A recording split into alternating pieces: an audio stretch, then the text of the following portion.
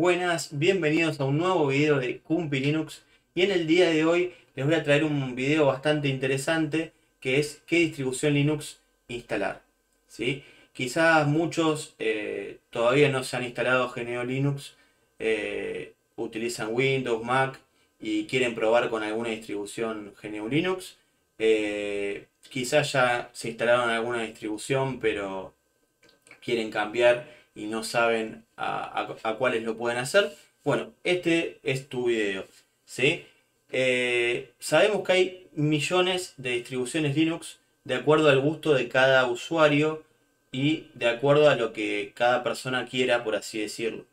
Eh, podemos elegir una distribución de acuerdo a su apariencia, de acuerdo a los programas que nosotros utilizamos, de acuerdo a, a muchas otras cosas, como por ejemplo qué tipo de computadora tenemos. ¿sí? Hoy nosotros nos vamos a centrar en eso, en qué, eh, qué distribuciones se pueden instalar de acuerdo a tu computador, ¿sí? a tu computadora. Entonces, voy a dividir las, computadoras o las arquitecturas de computadora en tres tipos.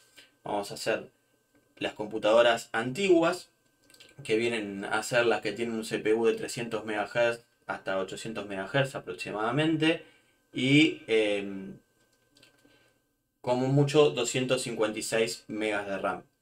Después em, vamos a, llamar el otro tipo de computadora como normales, por así decirlo, que en este caso van a ser procesador dual core, ¿sí? pero de generación antigua, y como máximo 2 GB de RAM Después vamos a, dividir en lo que son las computadoras actuales. ¿sí? Que para las computadoras actuales, bueno, son los procesadores de ahora, a partir de un Intel i3 y eh, de 2 GB de RAM para arriba. Bien, vamos a comenzar entonces con las eh, computadoras antiguas. Para las computadoras antiguas podemos instalar eh, una distribución que se llama Puppy Linux, que viene tanto en 32 como en 64 bits. Eh, lo recomendado es un CPU ¿sí? Eh, de 900 MHz, eso sería lo recomendado, y 256 MB de RAM. Después tenemos la distribución Tiny Core, que con 64 MB de RAM ya lo van, a, lo, van a estar pudiendo utilizar. Pero lo recomendado es un Pentium 2 como mínimo eh, y 128 MB de RAM. Después tenemos también la distribución Antix, que también es de 32 y 64 bits. 64 megas como mínimo, pero lo recomendado serían 256 megas de RAM. Y por último, para recomendar en esta, en esta sección, Body Linux, que lo recomendado es un mínimo un procesador de 300 MHz y 128 megas de RAM. ¿sí? Ahora vamos a ir a las, a las computadoras normales en este caso pueden probar Peppermint, ¿sí? que les va a funcionar muy bien con un GB de RAM. Eh, requiere un, CPU bastante antiguo, o sea que eso lo van a poder correr bien. Si tienen, como hoy les recomendaba, un procesador dual core de los antiguos, ya le va a funcionar de buena forma. Después tenemos la distribución eh, Lubuntu, ¿sí? que el Ubuntu con un CPU de 1 GHz y mínimo 768 MB de RAM le va a funcionar muy pero muy bien. Después tenemos la distribución también Enso OS que con 768 MB de RAM le va a funcionar excelentemente bien. Lo mismo en el caso de Subuntu, ¿sí? que ya con 500 MB de RAM aproximadamente les va a funcionar eh, de muy buena forma. ¿sí? En este caso, eh, bueno, yo ahora les, nombré varias distribuciones ¿sí? que pueden instalar, pero la mayoría de estas distribuciones tienen un entorno de escritorio XFCE o LXDE. ¿sí? Que LXDE se va a reemplazar, eh, ya se está por reemplazar de hecho, a LXQT.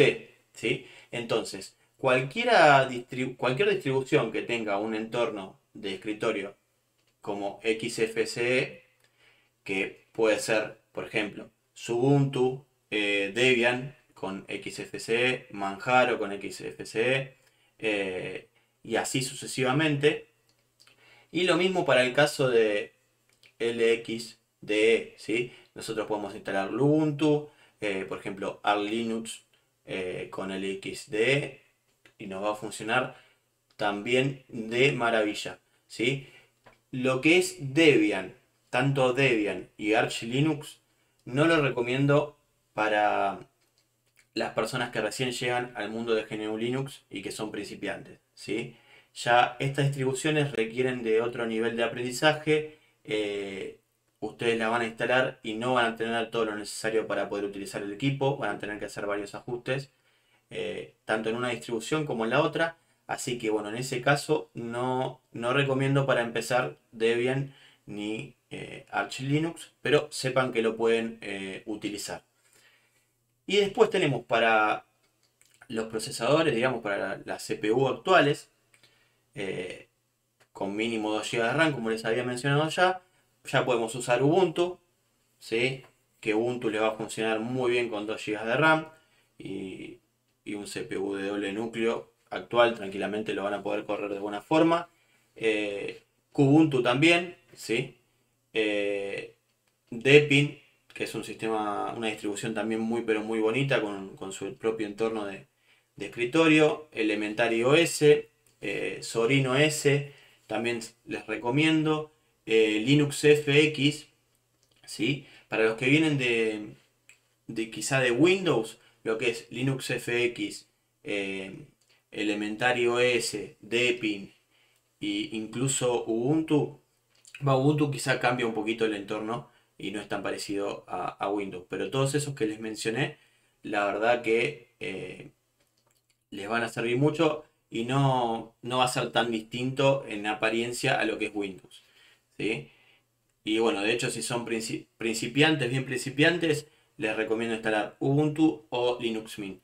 Linux Mint se les recomiendo un poco más de hecho que, Ubuntu, ya que viene con muchas otras opciones eh, que son más sencillas para el usuario. Bueno, y como, le, bueno, como les decía recién, eh, ya en estos, en estos tipos de, computadora ya van a poder instalar eh, entornos de escritorio más bonitos como Genome, KD, eh, Depin, ¿sí? Bueno, también pueden instalar obviamente los, los anteriores que ya nombré. Ya van a poder instalar cualquier entorno de escritorio y ya con este tipo de computador vamos también poder, a poder jugar a distintos juegos. Así que bueno, espero que les haya gustado este video. Si les gustó, denle like y suscríbanse a mi canal si todavía no lo hicieron. Hasta luego. Chao, chao.